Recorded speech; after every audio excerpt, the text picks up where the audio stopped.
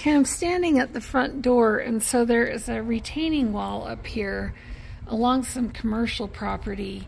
Um, it eventually may be a hotel, but not back this far. This may be parking or something on the other side of that wall, but not the wall. Um, you come out here, so I was standing on the front porch. So this is between the house and the garage. Just kind of looking around here. This is a unique property. Um, so all of this has been graveled in. I'm going to walk up here to where my car is. So you've got a driveway coming in here. So Glen Drive that this is on is basically a dead end. Uh, coming up here at the end of this street you have the pilot gas station and the boat storage and the fire department.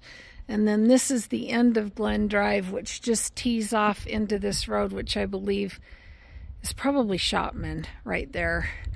So this is the house next door. This is the garage. We'll get in there. And then this is the other house next door. So this has a really nice driveway into this property. Um, interesting enough, it's got some sort of uh, what I'm thinking is probably a French drain system here that goes both directions to keep the water out of the garage. It's also got a dip. Got this beautiful garage. And I don't know how tall those doors are, but that's that's pretty darn tall. I'm gonna say guesstimating 12 feet um, definitely oversized. So it's got power all down the wall. It's got a little drink fridge, more power, and then you've got this one here. So it is one heck of a garage. Got a little bit of cracking on the concrete, but that is kind of what concrete does. It cracks. So coming back around, here's the front of the house that you can see from the street, side of the garage, plants, some nice decor as far as landscaping, you know, not not super overdone, but enough to, you know, have a tree here, which is nice. So this is where it gets interesting. This is walking into the house. These floors are wood grain tile. So they're actually tile, but they're wood grained. And I'm go out this way just a little bit. Okay, so you've got a wall here. It goes up, so it's got the pitched roof. And then backing up, you've got this large sofa in the living room. It's obviously been an Airbnb. The tile is just very well done. I mean, very well done tile work on the floor. Coming around this way, you have a dining room.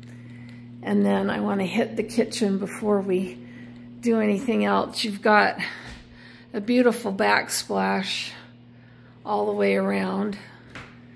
You've got a Frigidaire side by side, stainless. You've got Frigidaire microwave, that, and then the drawers aren't soft close, but they're all pretty nice white cabinets.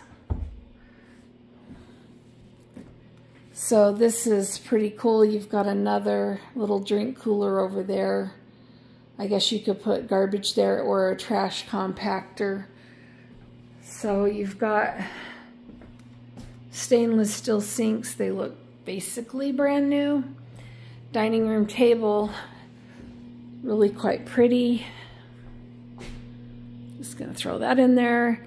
So from here, before I do the bedrooms, I'm gonna walk outside and just sort of give you an idea of what I'm looking at. So this is the back porch. Looks to be made out of Trex. It's all in excellent condition. And then you've got some AstroTurf down here. More landscaping and rocks on both sides, but this is kind of what's cool. This chunk of land right there, So this chunk of land is owned by Greenehaven Development, and there's no access to it. I believe it's just open space um, that way. So let me show you what I'm looking at standing here. Let me show you what it looks like.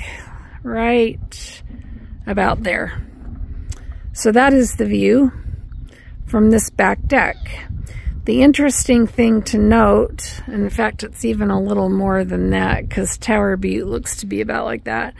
So the interesting thing to note here is that the houses down below are already built. So they're not getting any taller than that. So the views here are just like literally out of the world. There's Lone Rock right there. So say hi, Lone Rock. Anyway, it is really pretty spectacular views from right here. Not going to minimize that right off your back porch, but not only is it off your back porch, these doors over here are the master bedroom doors. I'm not going to open them from the inside, but they are sliders that come out to this really well done back patio area. So going back inside, I should have probably turned more lights on. More surprises. Off to the left here we have the bathroom. This is the guest bath. So you've got granite, dark bottoms, excellent porcelain sink. Literally, this all looks brand new. And this tile job on this shower is also pretty incredible. Comes down here, you've got that, and then you've got the handles, the tub.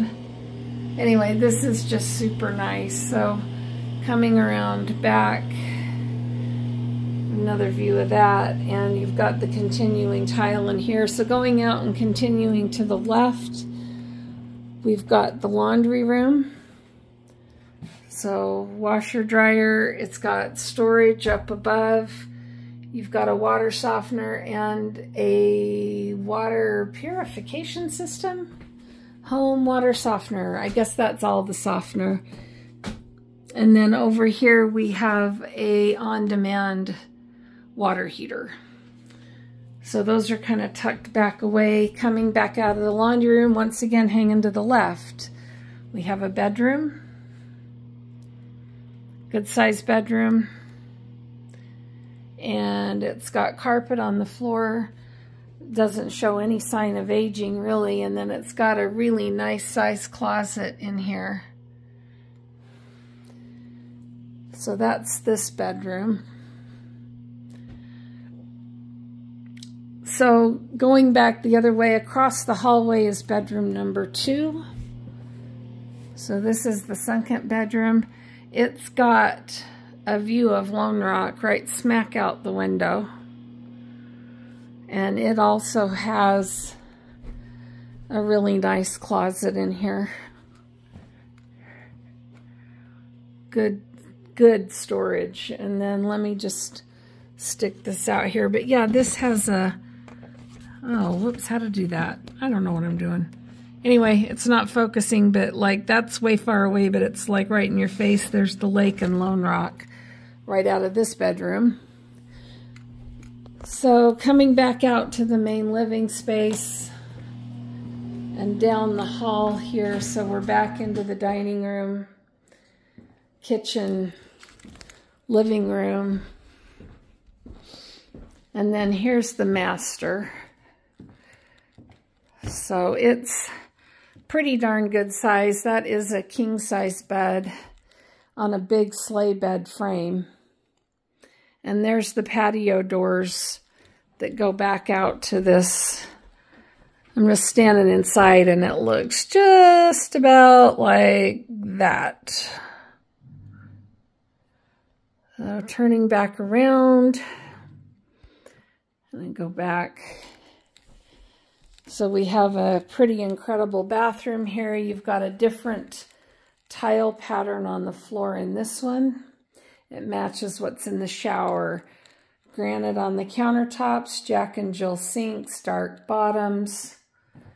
Coming around this way, you've got the toilet room, and then you've got a snail shower, one that kind of wraps around all the way down into here. So the controls are on this wall. And then it's got a seat, a bench there. Well, I guess it's more of a shelf built in there. So that's the tile. That light is kind of messing up my phone, but and it's got the same tile on the floor as what's out here. And then it has another very large closet in here for the master. So kind of a walk-in, you know, but definitely big enough. I'm coming back out. That's a good size dresser. So this is a good size room. And there's the front door again. One more shot of the living room.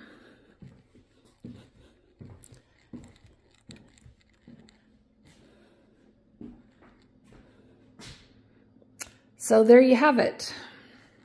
I'll get this uploaded.